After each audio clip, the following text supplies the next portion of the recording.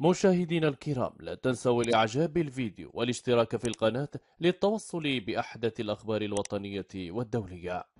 تعيش الخطوط الملكية المغربية يوما تاريخيا بعدما تم صباح اليوم الجمعة تدشين أول خط جوي مباشر يربط بين العاصمة الفرنسية باريس ومدينة الداخلة بالجنوب المغربي.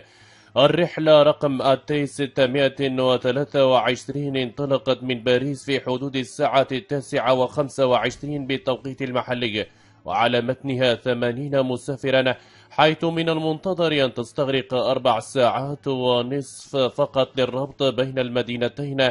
هذا وتعتبر هذه الرحلة الأولى من نوعها التي تربط إحدى المدن الأوروبية الكبرى بمدينة الداخل الصحراوية. إذ تمت برمجة رحلتين أسبوعيتين ذهابا وإيابا على هذا الخط يومي الثلاثاء والجمعة مع إمكانية الرفع من عدد الرحلات الأسبوعية عند ارتفاع الطلب.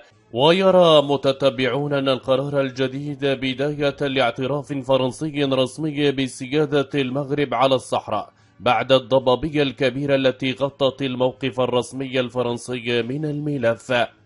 نشكركم على حسن المتابعة. إلى اللقاء.